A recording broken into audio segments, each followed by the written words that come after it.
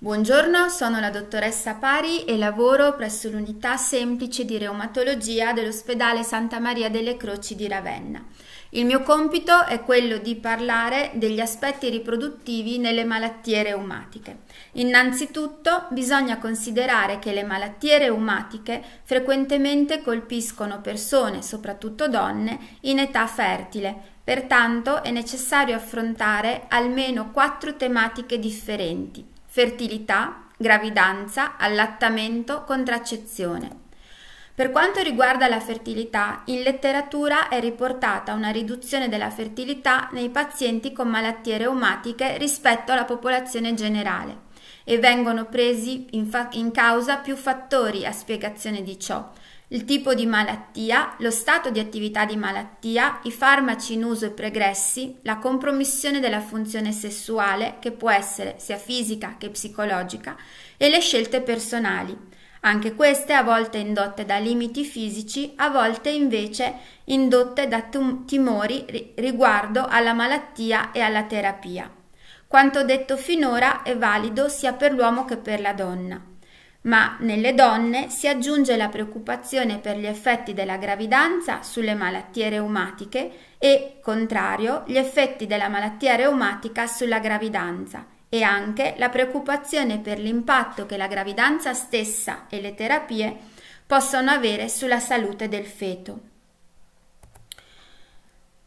Per quanto riguarda la gravidanza, per decadi alle donne con malattie reumatiche è stata sconsigliata, se non addirittura controindicata, la possibilità di avere gravidanze. Oggi, grazie alle nuove terapie che permettono di raggiungere in un nutrito numero di pazienti la remissione clinica e di ridurre la progressione della disabilità, per le pazienti reumatiche è quasi sempre possibile affrontare una gravidanza. Si consiglia comunque una gravidanza programmata perché nonostante tutto l'evento gravidanza continua ad avere un rischio di complicazioni maggiori rispetto alla popolazione generale. Il rischio di avere complicazioni dipende dalla diagnosi, dallo stato di attività di malattia, dalla presenza di particolari autoanticorpi come gli anti-RO, gli anti-SSA, gli antifosfolipidi, dalla terapia in atto. Il rischio di riacutizzazione della malattia reumatica in corso di gravidanza cambia a seconda della patologia. Seguono una serie di slide in cui si prendono in considerazione le patologie reumatiche più frequenti o quelle con maggiori problematiche rispetto alla gravidanza stessa. Ad esempio, artrite reumatoide e artrite idiopatica giovanile nel 60-70% delle pazienti la sintomatologia articolare migliora in gravidanza e circa il 50% raggiunge una buona remissione nel primo trimestre, percentuale che aumenta di un altro 14-15% nel secondo trimestre. Remissione talmente buona a volte da riuscire a sospendere tutta la terapia di fondo. Purtroppo circa il 50% delle pazienti ha una riacutizzazione nel postpartum con un picco circa a 8 settimane. Per quanto riguarda l'artrite psoriasica, l'80% delle pazienti migliora spontaneamente, ma il 70% riacutizza nel postpartum. Nelle spondiloartriti, ossia le spondilite anchilosante e le artriti reattive, vi sono pochissimi dati in letteratura.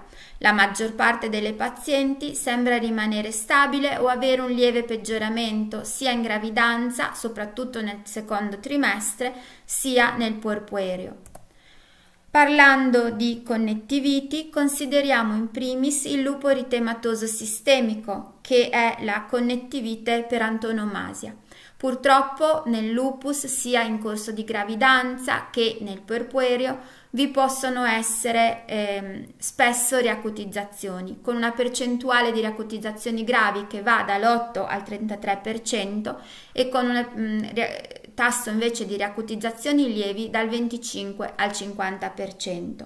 Vi è però un messaggio positivo in questo perché comunque queste percentuali sono ridotte rispetto al passato. Ciò significa che no, i farmaci che oggi utilizziamo sono mh, mm, hanno la capacità di dare una maggiore eh,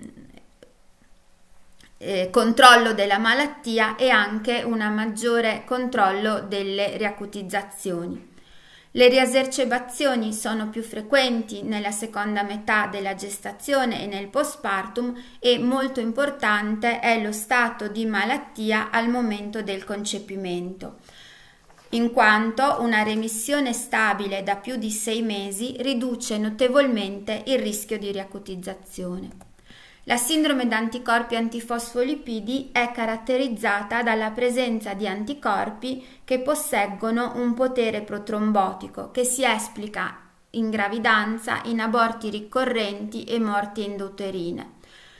Per quanto riguarda la madre, invece si esplica nello sviluppo di un'ipertensione arteriosa severa e precoce e in una sindrome postpartum data da febbre e mh, mm, sintomi di tipo polmon- polmonare respiratorio. Questo grafico evidenzia la situazione prima della terapia, in cui il 90% delle gravidanze purtroppo esitavano in aborti o morti endouterine. Oggi con la terapia la situazione è completamente ribaltata e l'80% delle gravidanze hanno esito positivo. Due parole sulla sclerosi sistemica, perché eh, in questa patologia la mm, riduzione della fertilità sembra possa essere legata ad un interessamento annessiale da parte della patologia stessa, che porta anche ad un aumentato rischio di aborto. Comunque il 61% delle pazienti rimane stabile in gravidanza e solo il 20% peggiora. In questa malattia in gravidanza possiamo avere un peggioramento di alcuni sintomi come il reflusso e la stipsi, un miglioramento di altri come il fenomeno di Raynaud e le ulcere digitali. Vi è però un aumento notevole del rischio di sviluppare un'ipertensione arteriosa, soprattutto nel terzo trimestre, e una maggiore incidenza di parto pretermine. Questa patologia è molto importante perché è forse l'unica situazione tuttora esistente in reumatologia in cui vi è una controindicazione assoluta alla gravidanza e questo accade quando queste pazienti sono, presentano un'ipertensione arteriosa polmonare. La connettivite indifferenziata è forse la eh, patologia reumatica più frequente in età fertile. In questa patologia nel 25-30% delle pazienti hanno una riacutizzazione di malattia durante il terzo trimestre o nel postpartum, ma generalmente le riacutizzazioni sono lievi e gestibili con la terapia. Il lupus neonatale. Il lupus neonatale è dato dalla presenza e dal passaggio degli anticorpi anti-RO e anti-SSBLA attraverso la placenta. Questi anticorpi possono causare eh, delle manifestazioni nel bambino cutanee, ematologiche ed epatiche. Le manifestazioni cutanee compaiono intorno al secondo mese di vita, regrediscono spontaneamente intorno ai 6-8 mesi e si tratta di un eritema. Per quanto riguarda le alterazioni ematologiche, generalmente è un'anemia, una riduzione dei globuli bianchi e delle piastrine, di solito molto lievi, che compaiono nelle prime settimane di vita e generalmente anch'essi regrediscono spontaneamente. Per quanto riguarda il fegato, si parla generalmente di un ittero già presente alla nascita o nelle prime settimane e anch'esso a remissione spontanea.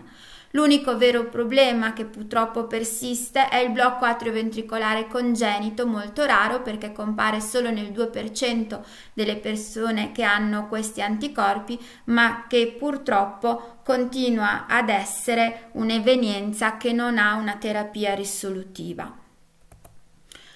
Per quanto riguarda le miopatie infiammatorie, i dati in letteratura sono molto pochi, il rischio di attività di malattia non sembra aumentare in gravidanza e addirittura vi è un 37% delle pazienti che ha mostrato un miglioramento clinico.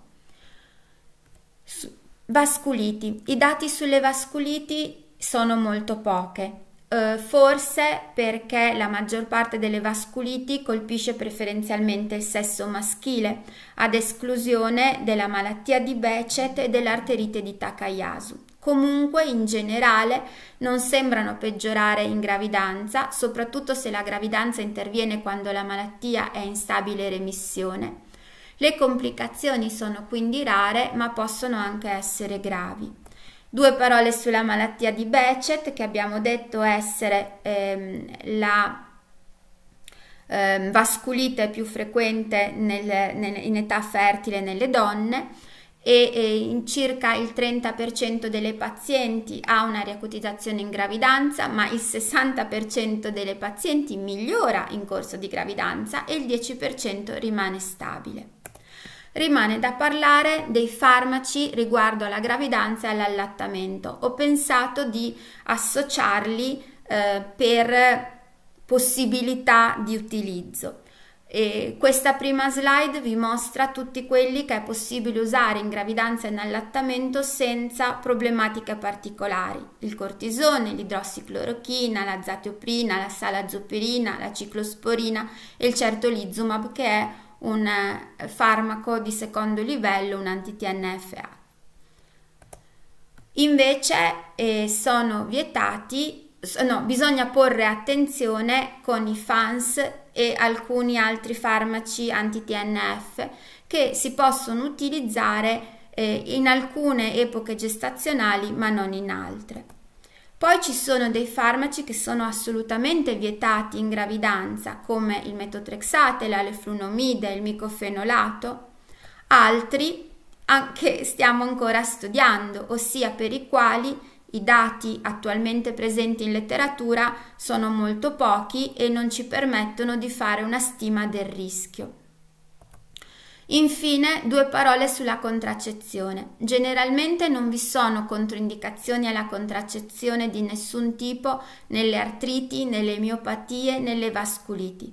Molta attenzione va posta riguardo al metodo contraccettivo nel lupus eritematoso sistemico e in quanto il rischio dipende dal tipo di anticorpi presente e dallo stato di attività di malattia. Particolare precauzione va posta nella sindrome d'anticorpi antifosfolipidi dove assolutamente non si possono usare preparati a base di estrogeni. Con questo ho concluso, vi ringrazio per l'attenzione.